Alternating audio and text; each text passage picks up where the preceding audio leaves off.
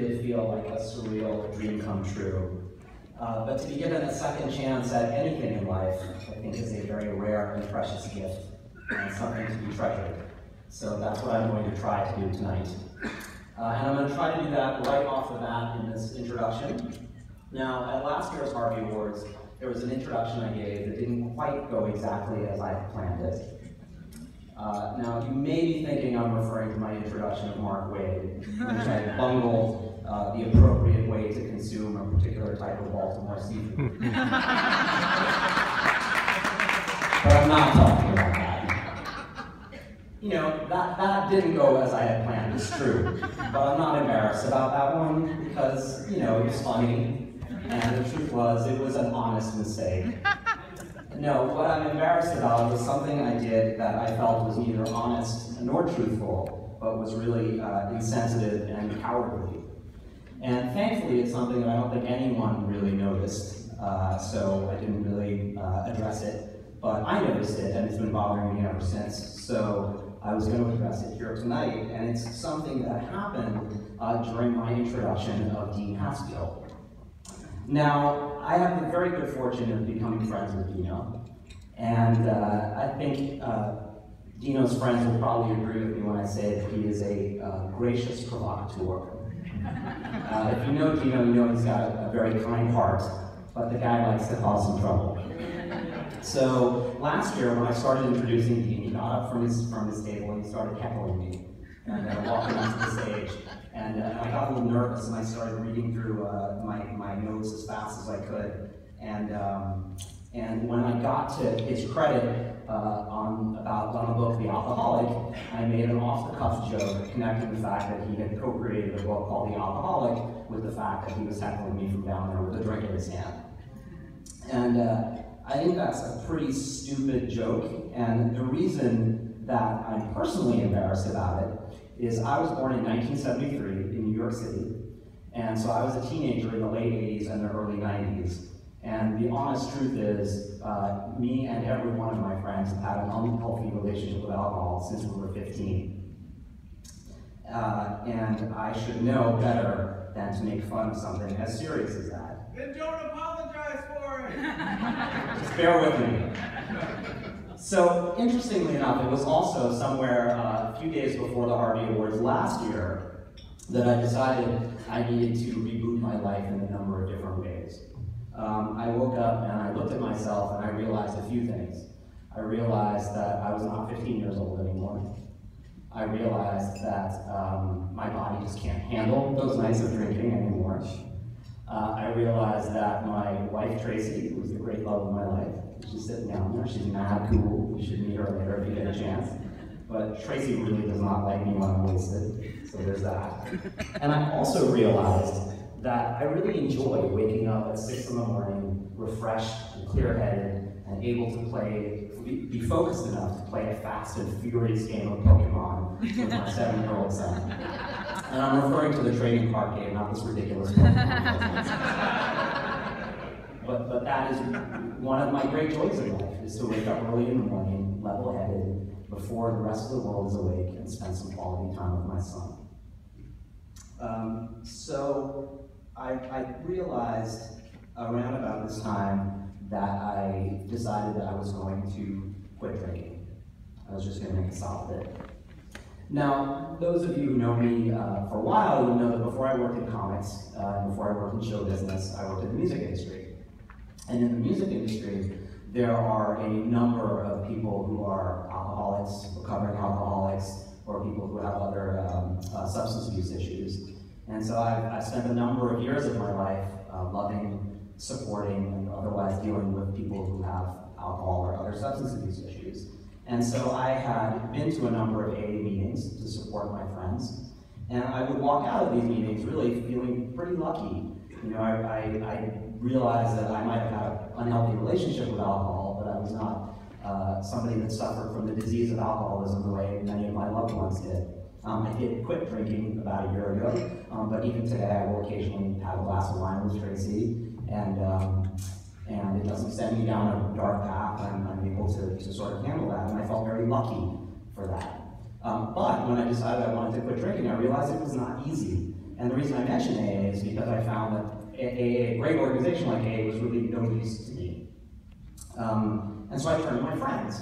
And God bless my friends, I have the greatest friends in the world, but my friends were also no real use to me. You know, they, they all told me, uh, you, you think too much, you're hypersensitive, you don't have a problem, you, um, you just need to you know, stop drinking for a month, cleanse yourself out, you're gonna be fine. And my friends are usually right, but in this case, I, I was pretty sure that they were wrong. Now, at this point in the evening, you're probably wondering why I'm sharing this absurdly personal, uh, probably inappropriate story uh, at the Harvey Awards podium. Tracy is probably wondering if I've actually had too many to drink. Um, but, uh, but here it is. Um, when I found no, uh, when I couldn't find what I needed from, from great organizations like AA or from my friends, um, I did what I had done so often in my past uh, I've turned to art. And I can honestly say, without, with 100% sincerity, that it was a 136-page graphic novel published by Vertigo, co-created by Dean Haspiel, called The Alcoholic, that provided me with the inspiration that I needed to make my life a better life. And I'm eternally grateful to Dean Haspiel for that.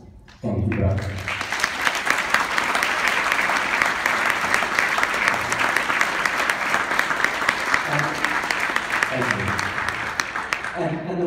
Reason I wanted to share that story, in addition to, to being able to, to correct a wrong and to, to thank my man Dean, is that I, wanted to really underscore the importance of this medium that we work in and that we all love, and, and the ability that we have as creators to affect change.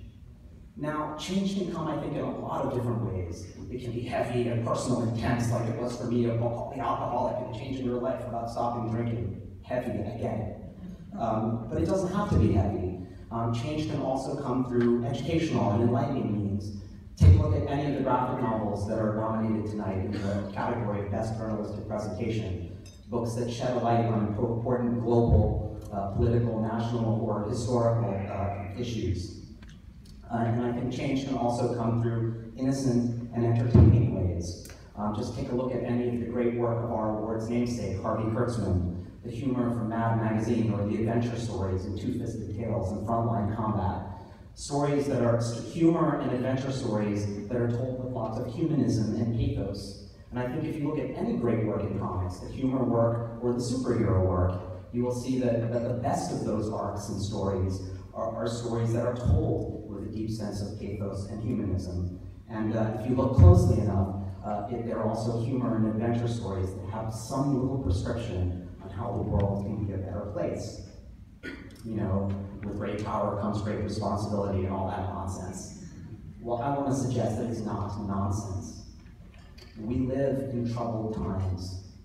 You only need to look at the political situation in the UK or here at home in the US to see that people are making their decisions based on anger, fear, or a desire for change, or a need for reassurance and hope.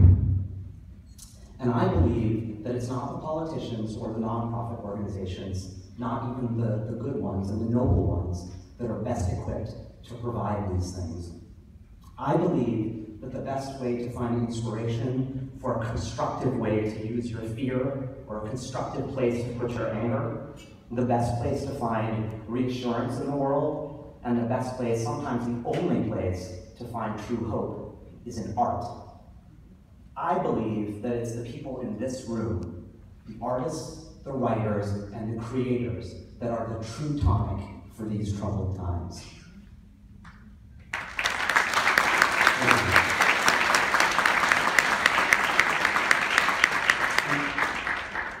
And that really is why it is my great honor and privilege to be hosting the Harvey Awards, because it's an award ceremony that is for the creators. It's about the art it's a ceremony, as you all know, uh, organized and run by creators for creators.